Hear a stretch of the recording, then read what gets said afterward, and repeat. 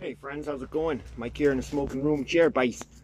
So uh, I just want to share with you guys a little bit of a tip to deal with Jehovah's Witnesses showing up at their at your door.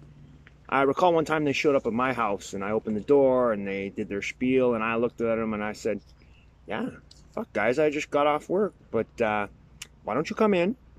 I'll roll up a joint, we'll burn it down, and then we can sit down and have a discussion." They promptly excused themselves and left, and that's how you get rid of Jehovah's Witnesses. Cheers.